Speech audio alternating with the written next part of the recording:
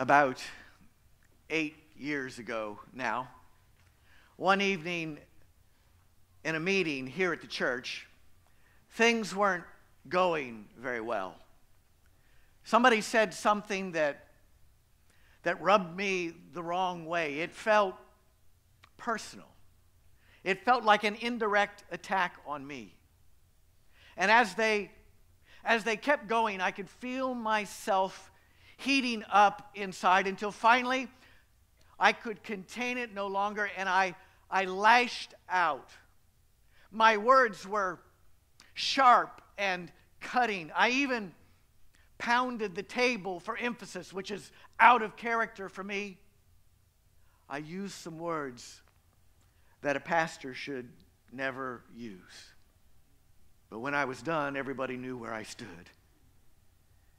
And when I was done, I felt awful. I could see the look that were on the faces of the people in the room, that they were stunned, that their confidence and faith in me as a pastor had been shaken because a pastor is supposed to be a gentle shepherd, not a slasher. So, as the meeting came to an end, and as I was walking out of the meeting with every fiber of my being, I wished that I could turn back the clock and, and undo it, but I knew I couldn't unring the bell. I knew that for the people in the room that night, I could never again be their trusted pastor, and it felt to me like I had forever lost something really important to me. I felt horrible. Then I woke up, rolled over, and realized it hadn't happened.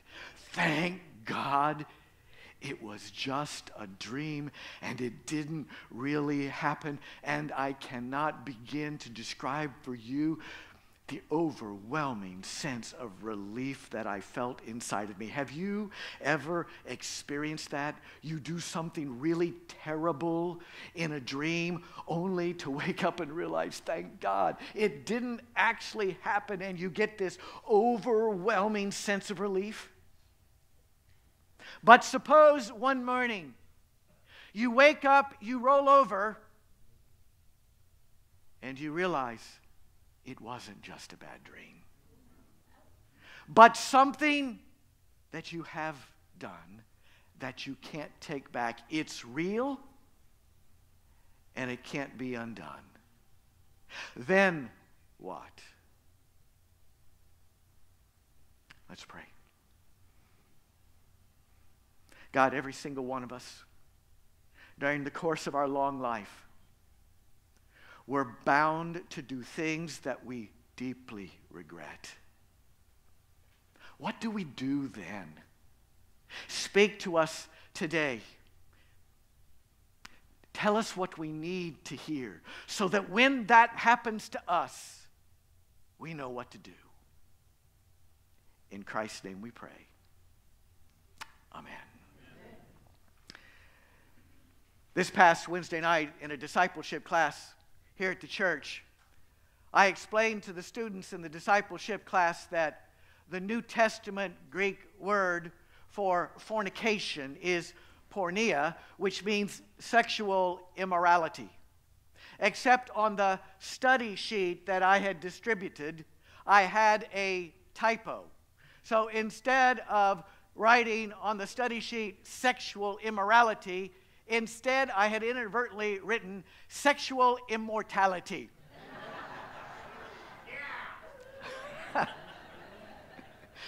it was then that I understood why so many students had showed up for discipleship class last Wednesday night. They wanted to know how can I too attain to sexual immortality?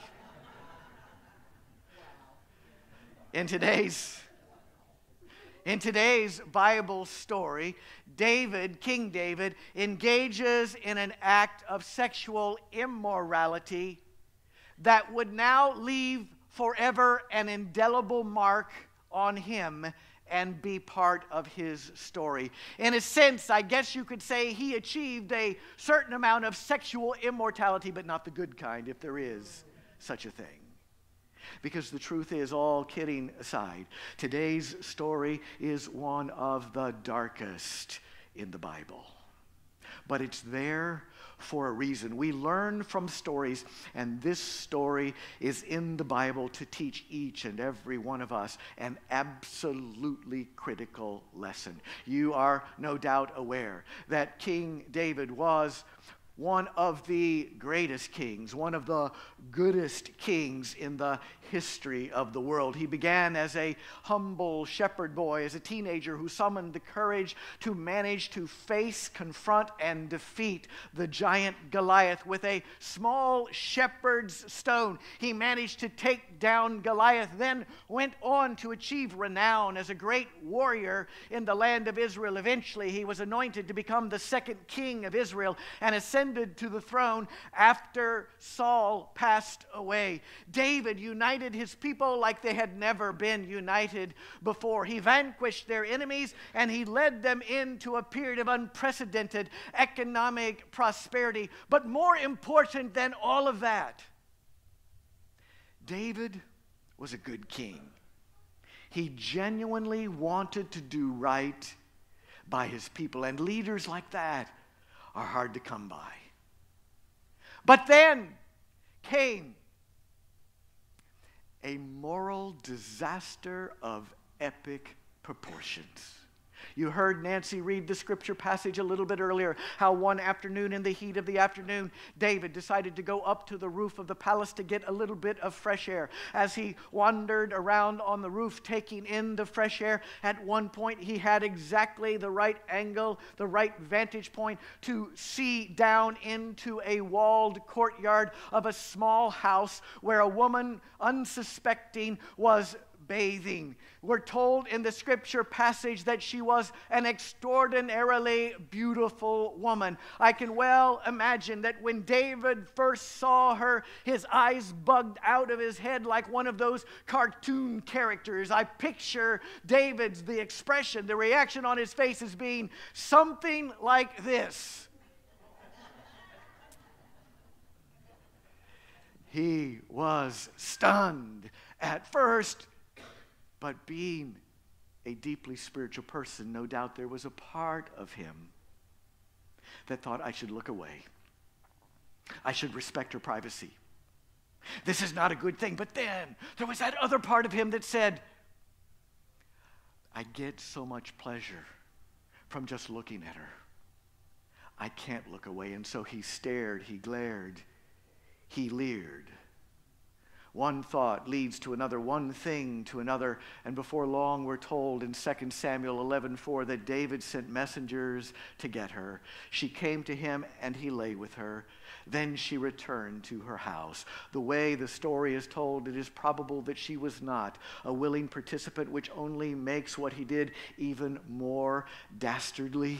And then she conceives, she becomes pregnant, which is a problem because you see, her husband Uriah was away at the battlefront, so everybody would know that the child she was carrying was not by him. When word reaches King David, he he immediately takes action to try to cover his tracks. He concocts a scheme. He, he orders that Uriah be sent back to him from the battlefield to brief him on how the battle is going. When the briefing is over, David says to Uriah, You know, before you return to the battlefront, why don't you just go home tonight, spend the night with your wife, relax and enjoy? You can return tomorrow. But Uriah instead slept in the servants' quarters quarters of the palace because he was, had a sense of duty and honor. And if all his comrades were on the battlefront fighting, experiencing the deprivations of war, it didn't feel right to him to go home and relax and enjoy. And so he sleeps with the servants that night.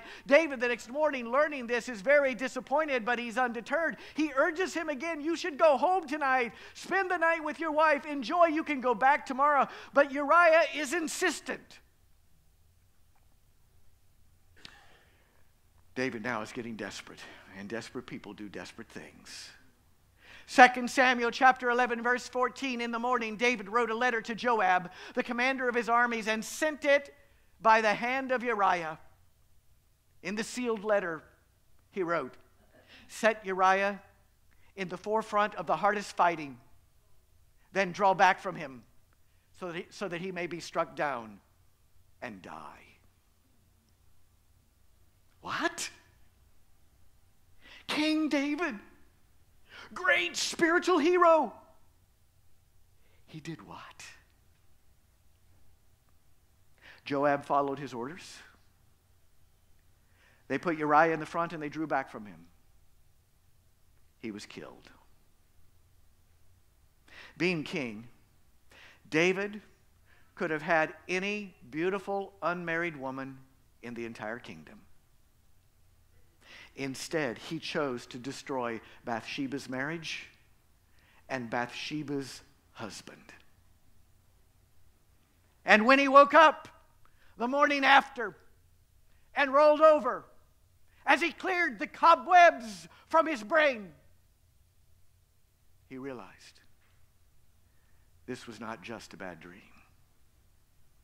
This is something that he had done that he could never undo.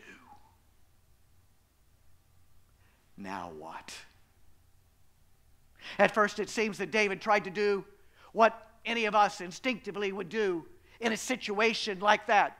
If you've done something unthinkable, then just don't think about it. Stuff it so far inside that hopefully you can forget it and move on. But things that we stuff inside have a way of coming back to us. And for David, the way it came back to him months later was in the form of a prophet named Nathan who showed up in the court of the king one day saying that he needed to report a terrible crime that had been committed. What is it? David asked.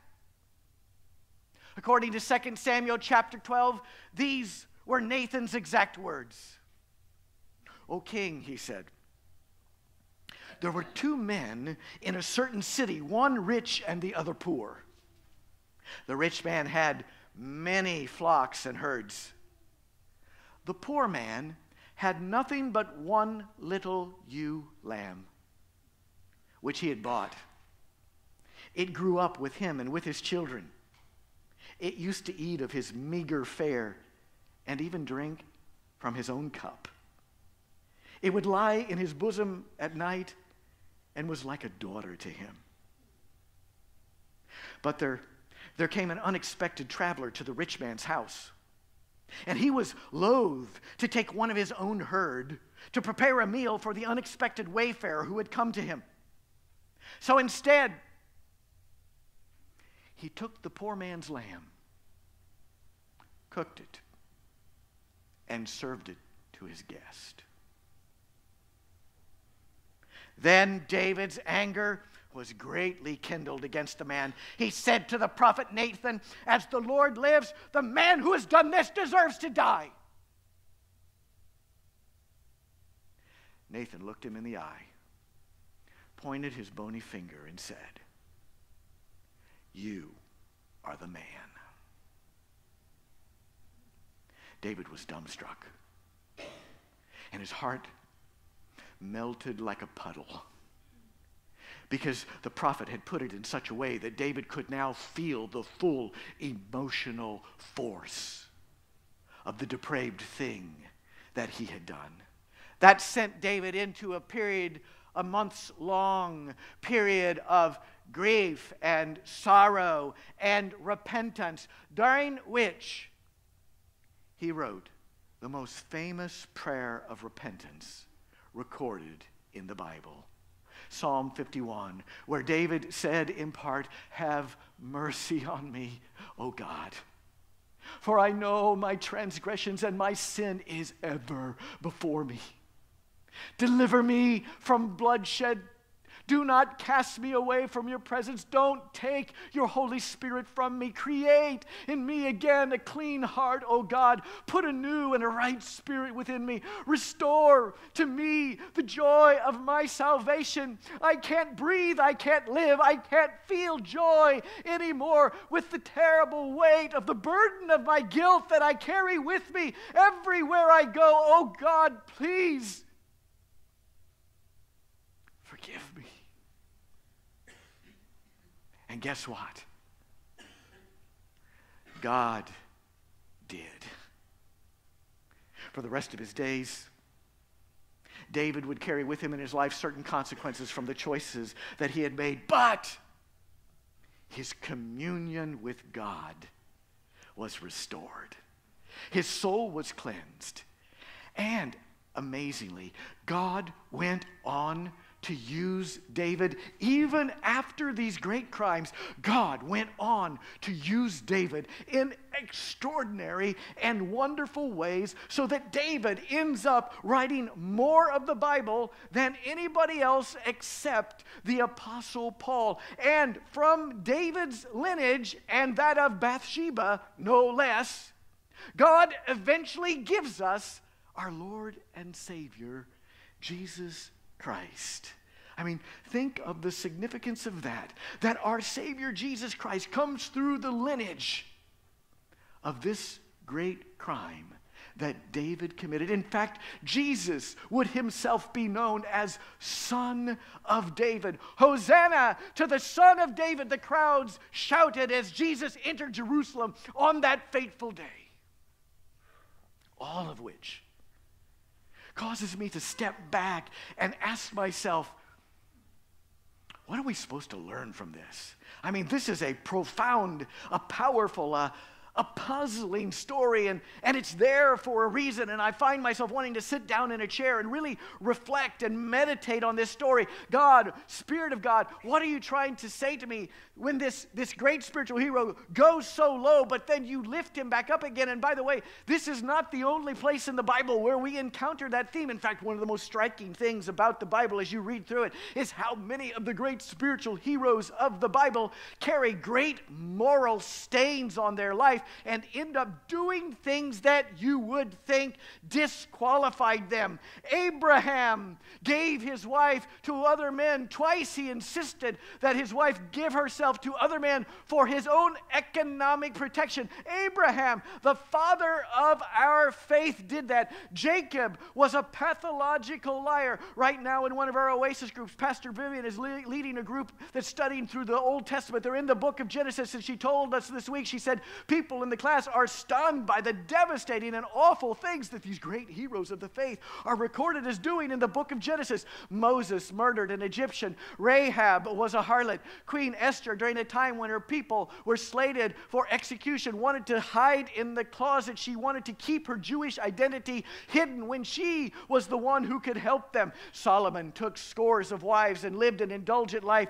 Peter denied once ever knowing Jesus. John Mark was a deserter from a missions trip and yet ended up writing the Gospel of Mark. Paul, before he became a Christian, executed Christians and even Mary, the mother of Jesus. There was a point in her life when she doubted her son and tried to give him to give up her ministry. Read about it in Mark chapter 3. Are we starting to see a pattern here?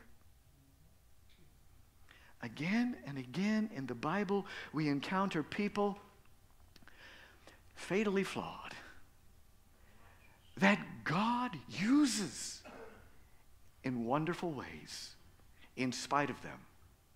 And it's not just in the Bible, we see it in human experience, we see it in history. Take the example of Mother Teresa. She is probably the greatest saint whose life has coincided with my own life. She created the House of the Dying in Calcutta, India, and started a movement that has blessed innumerable people who were dying when they most needed mercy, most needed help, most needed to experience the love of God. She was so selfless, she was so effective. But then she died. And we got a glimpse of her private letters, and we're stunned. In fact, she had given instructions that she wanted her letters destroyed when she died, but the Vatican reversed that after her death, thinking it was important that we see what she had written. In one of her letters, she writes to a friend, There is such terrible darkness in me, as if everything is dead. After an important speaking engagement, in another letter, she wrote to a close friend who knew her very well, and she said to him, I spoke as if my very heart was in love with God, tender, personal love. If you were there, you would have said, What hypocrisy! In another letter, she wrote, I feel repulsed, empty, no faith, no love, no zeal. Saving souls holds no attraction for me. Heaven means nothing. How is it possible that this person, universally regarded as a great saint, how is it possible that she could have experienced so much doubt and so much darkness in her own life? As someone who is a saint myself, I can relate. As you know, I reminded you a few weeks ago that I am a saint, lest you forget. And I can tell you, as a saint, everybody has their darkness. Everybody has their moral stains. In fact, there is no such thing as a saint, the way we typically use the term. We all struggle and we're all in this together. And yet somehow God manages to use us in spite of ourselves. Take the example from history of Winston Churchill. If you were to ask me to make a list of, of the 10 people who have done the most good during the course of human history, who God has used to accomplish the most during human history, I think Winston Churchill would have to be high on that list because he was the one who led the resistance to the greatest greatest evil the world has ever seen, the Nazi movement. He was the key leader in defeating that. Where would we be in the world if not for God working through Winston Churchill in those pivotal moments? Yet, by all accounts, Winston Churchill was quite the character. For, though some people dispute it, Winston Churchill was thought to have been a drunkard, an alcoholic. Everybody agrees that he at least was one who commonly often drank in excess. Think about that. The key world leader responsible for for pursuing World War II and defeating the Nazis would drink in excess and then, under the influence, make world critical decisions couple weeks ago, I heard uh, historian Michael Beschloss on TV recounting a famous story about Winston Churchill, about a time when Churchill was coming out of, of a cabinet meeting and and he, he was confronted by Lady Astor, the first female member of the British Parliament. He was confronted by Lady Astor, who, who smelled alcohol on his breath. She said to him, Sir, I believe you are drunk. He snapped back at her, Madam, I believe you are ugly. and tomorrow morning, he said, When I wake up, I'll be sober, but you'll still be ugly.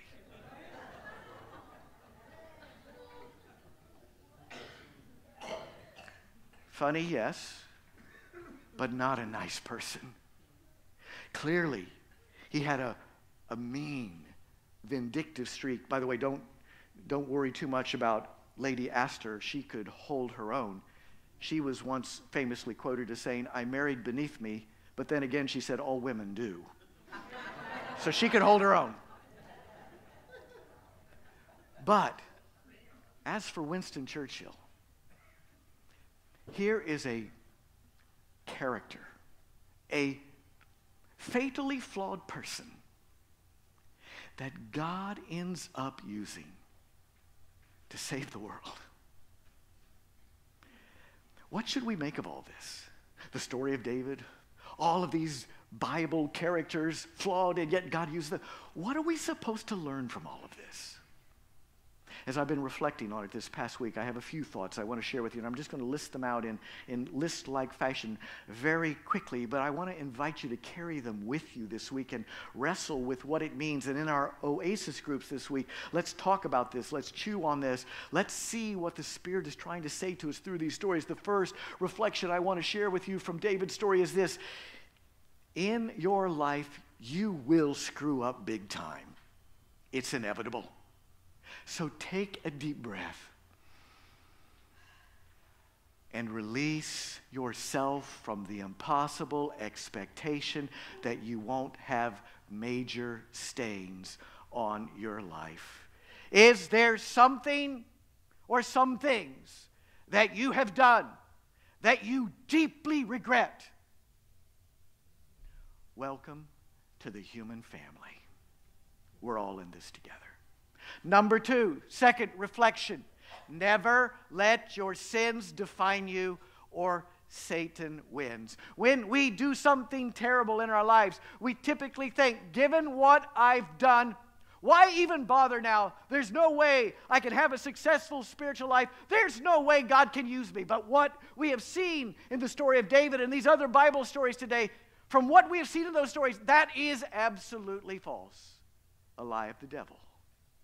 So, reflection number three when you sin, like King David, ask forgiveness and receive it. Allow yourself to feel God's forgiveness.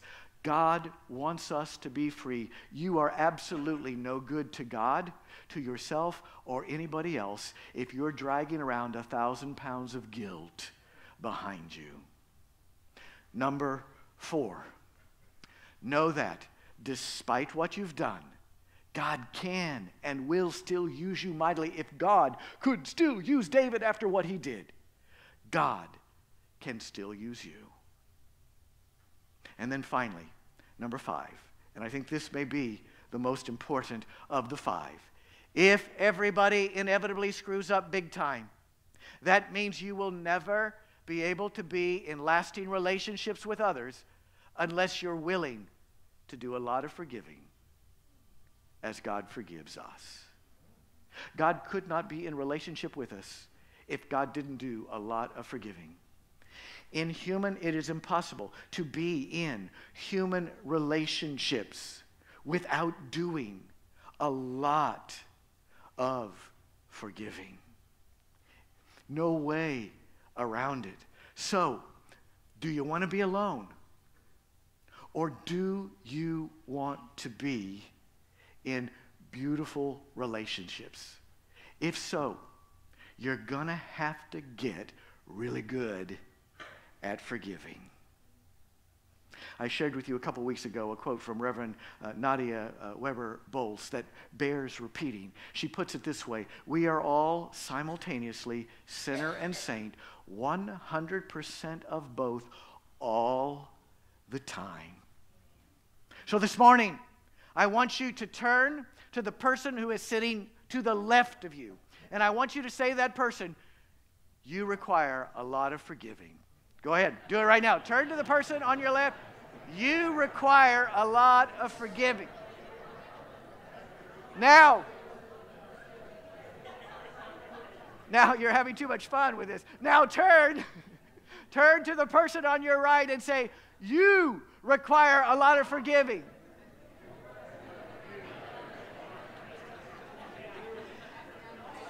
And now, and now point to yourself and say, and I require a lot of forgiving. So, with all, with all of these people around us who are constantly committing offenses against us, what are we supposed to do?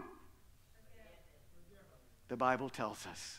Ephesians 4:32, forgive one another as God in Christ has forgiven you. Because you see, that person who commits an offense against you, your spouse, your parents, your, your friends, your children, your coworkers, your boss, your pastors, your fellow congregants, your friends, those who commit offenses against you, still have within them incredible potential to go on to be a great spouse, parent, child, friend, pastor, co-worker, boss.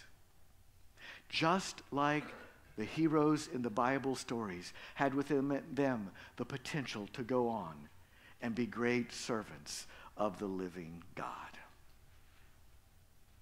Many years ago, I preached a really stupid sermon.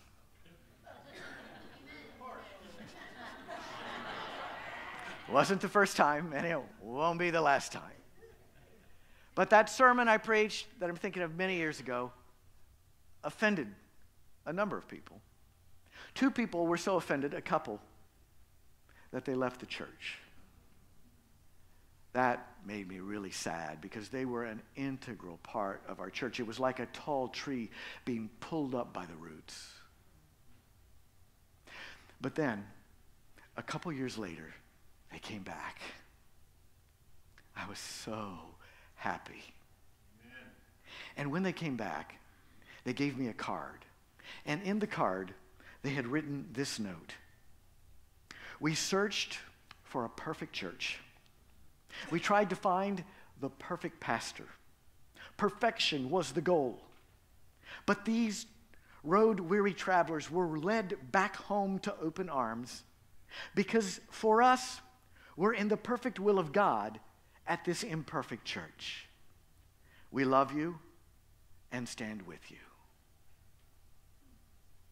I don't cry very easy, but that made me cry. The gift of forgiveness. A second chance. It's like I woke up and it, it hadn't happened. Grace. That was over 15 years ago now. And I'm so glad they came back because seven or eight years after that, one of the two of them passed away at an early age. And it was so meaningful and so important that we could memorialize her life here in this church where she belonged and where we knew her well enough to truly celebrate the beauty of her life. And the other person in that couple is still with us to this day. Hallelujah. You heard her sing Amazing Grace right before the sermon. We have a lot of precious memories that we share. I remember when her pop, her grandpa, played harmonica for worship service.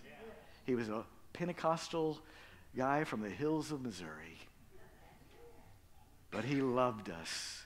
Mom and Pop would worship with us before we even had this building. One Sunday he played some hymn on his harmonica. Precious memories.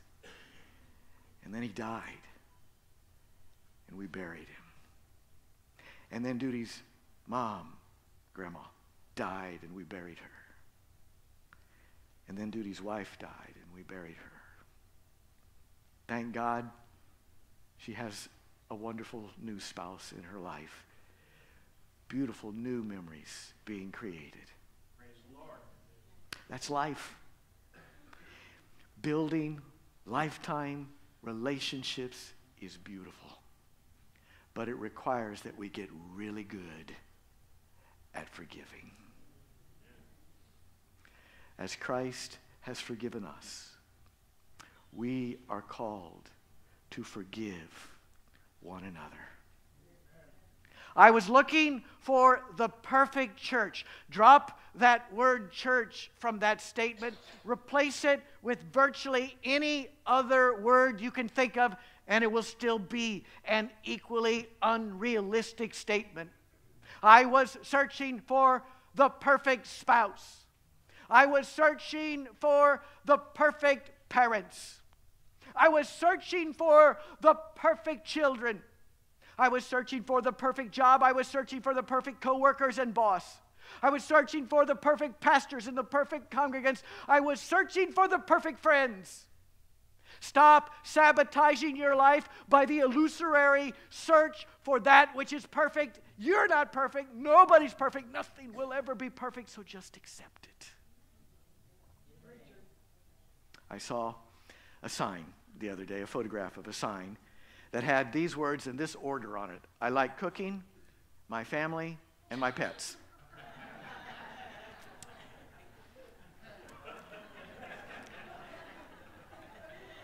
and then I noticed that, that somebody had written beneath this, use commas, they save lives.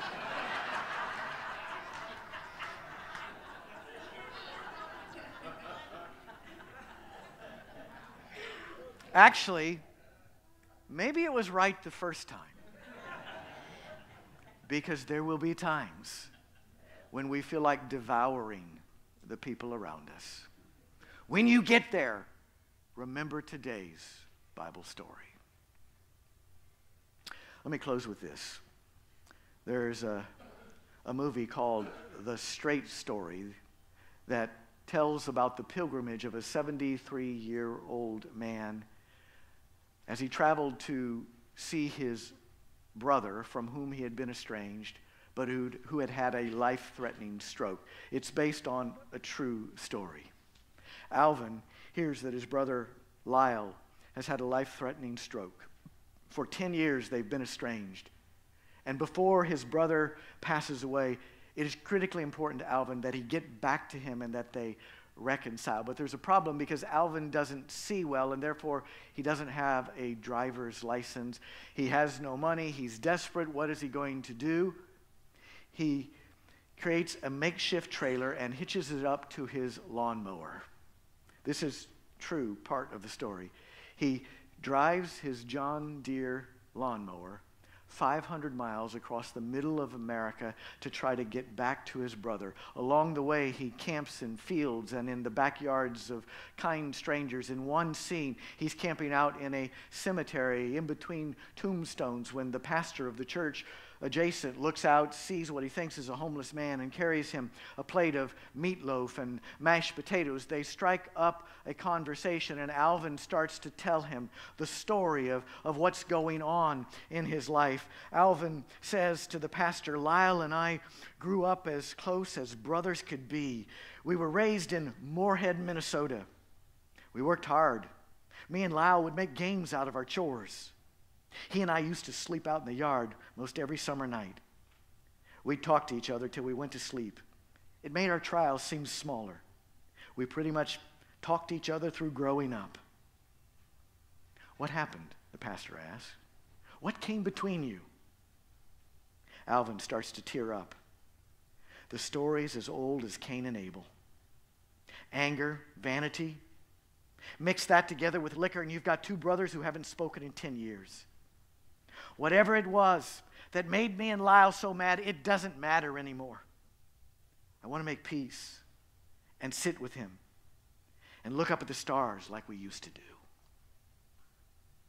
After six weeks of traveling on his lawnmower, he makes it to his brother's town, down the muddy road that leads to a ramshackled shack that is his brother's home. He gets off the lawnmower and calls out, Lyle!